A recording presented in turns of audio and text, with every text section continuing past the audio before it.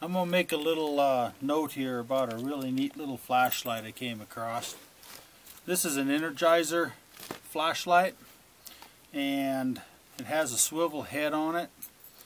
It's adjustable to three different settings. I carried this when I was in Afghanistan because we had times when we had to be in a redout situation which meant all white light was prohibited and you could only use red light to get around in and see in the dark so you wouldn't get sniped, that type of thing.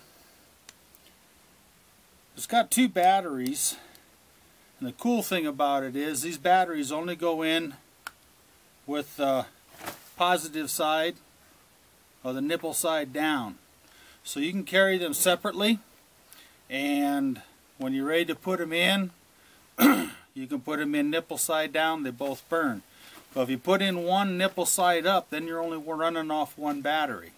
So you can conserve one battery in full power for later if you leave it nipple side up. You can always flip it around later. So you put it in nipple side down, they're both nipple side down, they're both active. If you flip them and put them nipple side up, both of them, well then you've got nothing.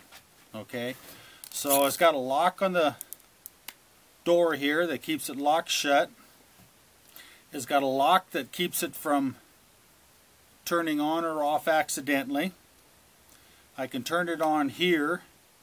It's got three different brightness settings, a bright, a medium, and a low, and then an off. And it also has the different beam settings.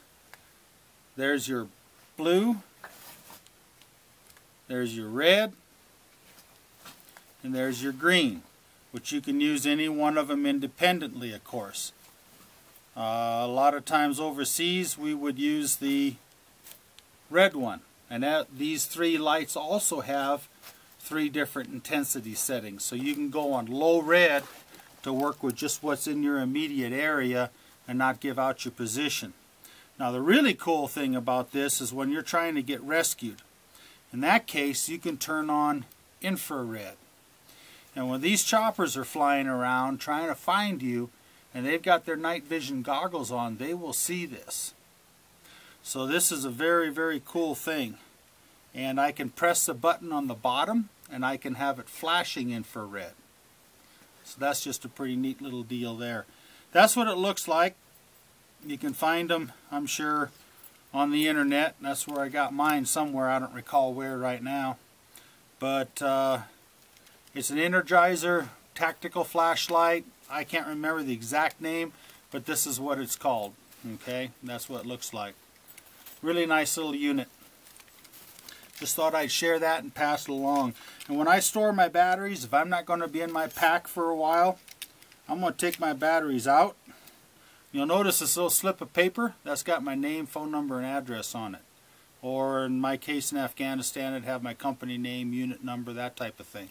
I fold that up in there, roll it in there real nice, and in case someone finds this flashlight, uh, they might get it returned to me. Or, in the worst case scenario, if you get captured and you pitch it somewhere or you lose it, well, at least maybe some troops will find it and know they're on the right trail.